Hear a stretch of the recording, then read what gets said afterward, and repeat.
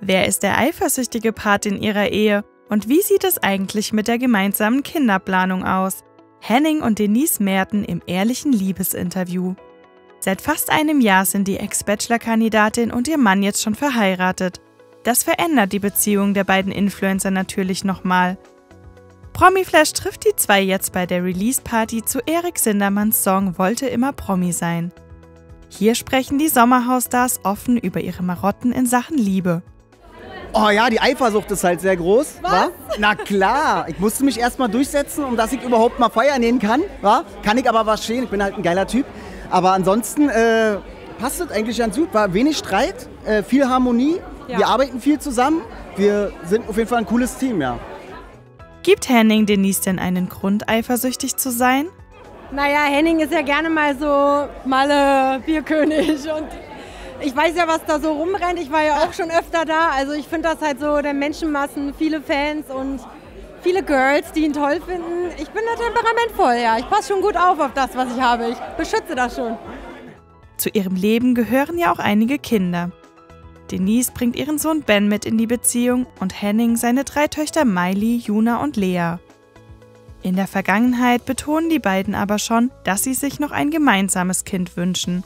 Wie sieht es an dieser Front aus? Schwierige Sache, ja. Ist halt, äh, wenn man schon so viele Kinder hat, äh, nicht einfach irgendwie darüber. Also es ist immer, man ist immer so gespalten, muss man sagen. Auch die Ja. Situation ist halt immer schwierig. Man will halt auch noch leben, man will jobmäßig weiterkommen. Und dann ist so ein Kind natürlich immer wieder ein, was ein bisschen ein zurückfällt. Bei Denise klingt das Ganze schon etwas konkreter. Wir sagen halt immer, es ist eigentlich noch das, was, ähm, naja, fehlen ist auch falsch gesagt, aber doch das, was uns noch viel, viel stärker miteinander verbinden würde. Und der Wunsch war ja von Anfang an da. Aber wir wollen halt auch nicht einfach unüberlegt, weil jetzt alle irgendwie ein Baby gerade kriegen, sondern wir wollen für uns halt 100% sagen, jetzt ist der richtige Zeitpunkt. Es ist auf keinen Fall ausgeschlossen. Wir verhüten auch nicht. Wenn es passiert, dann passiert Aber ja, Entspannt. Entspannt. Entspannt Genau. einfach, ja. Wir haben so viel Zeit noch. ja. Doch schon jetzt haben Henning und Denise immer viel zu tun.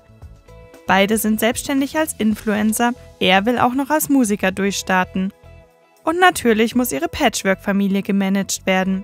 Wie bekommen sie all das unter einen Hut? Also manchmal frage ich mich selber, ähm, wie der Tag schon wieder so schnell vorbei sein kann. Also der Tag fliegt manchmal so wirklich, vorbei ist er. Aber irgendwie schaffen wir es. Wir sind eigentlich doch wirklich ein gutes Team. Also wir haben auch eine tolle Familie, muss man dazu sagen, die uns auch viel unterstützen, sowohl Hennings Familie als auch meine.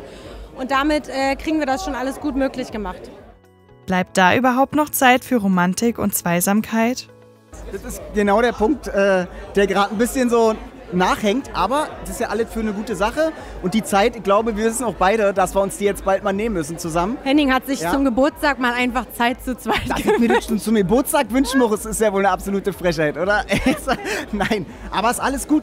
Ganz klar, Henning und Denise sind ein Hammer-Team. Gemeinsam kriegen sie bestimmt auch noch ein Kind mehr gewuppt.